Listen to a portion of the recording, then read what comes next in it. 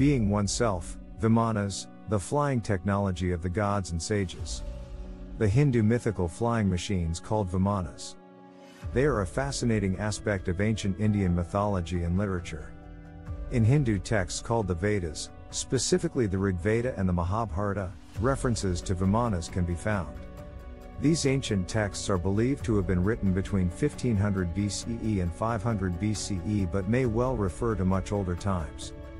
Vimanas are described as flying machines or celestial chariots used by gods and sages in ancient times.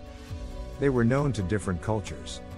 For example, King Solomon was supposed to use one described as a flying carpet. They are said to possess extraordinary capabilities, in today's terms technological, including the ability to travel across great distances and even into space. The mention of these aircraft like vehicles can be found in various contexts, from battles to divine journeys. The physical appearance of Vimanas is described differently in various texts. Some references describe them as chariots with wheels, while others portray them as more aerial or spacecraft like with various shapes and designs. The Vimanas are often portrayed as being made of precious metals such as gold or silver and adorned with elaborate decorations. Some look like the elaborate Indian temples.